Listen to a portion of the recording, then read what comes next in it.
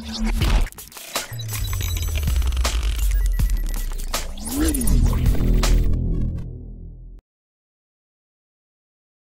Friends sports பத்திர செய்திகளை உடனுக்குடனாக தெரிஞ்சுக்கொள்ள நம்ம தமிழ் கிரிக்கெட் சேனலை சப்ஸ்கிரைப் பண்ணுங்க.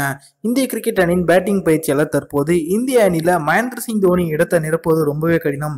எந்த ஒரு வீரருமே அதிரடியாக விளையாண்டா அவங்க வந்து தோனி ஆகிட முடியாது அப்படின்னு இந்திய அணியின் இளம் வீரர் ஒருவரை விமர்சித்து தற்போது பேசியிருக்காங்க. அது மட்டுமல்லாது அவருக்கு ஏற்றாற் போல அவருடைய மோசமான ஃபார்மும் தற்போது அவருடைய இடத்தை இந்திய அணியில கேள்விக்குறியாகி இருக்கு. அது பத்தின முழுமையான விவரத்தை பார்ப்போம். இந்த உலகக்கோப்பைக்கு பிறகு இந்திய அணியில மகேந்திர சிங் தோனி இதுவரைக்கும் இடம்பெறல. முதல் இரண்டு மாதங்கள் ராணுவத்தில் பணியாற்றுவதற்காக ஓய்வு வாங்கி சென்று கொண்ட மகேந்திர சிங் தோனி இந்த தென்னாப்பிரிக்கா அணிக்கு எதிரான தொடரில் இடம்பெறல. அவருக்கு பதிலாக இளம் வீரரான ரிஷப் பண்ட்டுக்கு தான் வாய்ப்பு வழங்கப்பட்டுச்சு.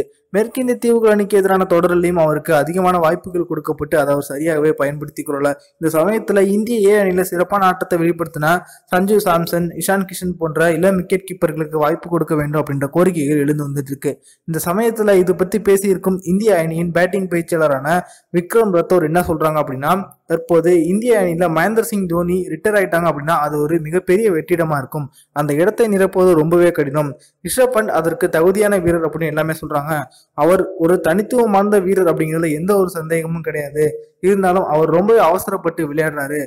அதிரடியா அச்சமின்றி விளையாண்டால் மட்டும் முடியாது. சூழ்நிலைக்கு ஏற்றாறு போல பொறுத்திருந்து சரியான சமயம் வரும்போது அதிரடியாக விளையாடி அணிக்கு வெற்றி தேடி கொடுப்பது மட்டுமே ஒரு பேட்ஸ்மேனுக்கு அழகு அப்படின்னு விக்ரம் ரத்தோர் அவர்கள் ரிஷப் பண்ட்டை விமர்சித்து பேசியிருக்காங்க.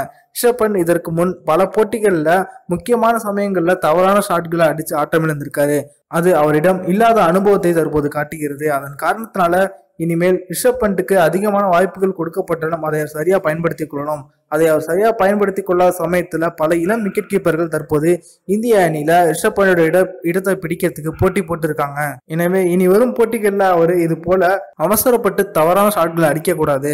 இந்திய அணியில தோனியோட இடத்தை நிரப்புவது ரொம்பவே கடினமா இருந்தாலும் அந்த இடத்துல தவறு செய்யாமலாவது விளையாடுவதற்கு வீரர்கள் கற்றுக்கொள்ள வேண்டும் அப்படின்னு பேசியிருக்காங்க.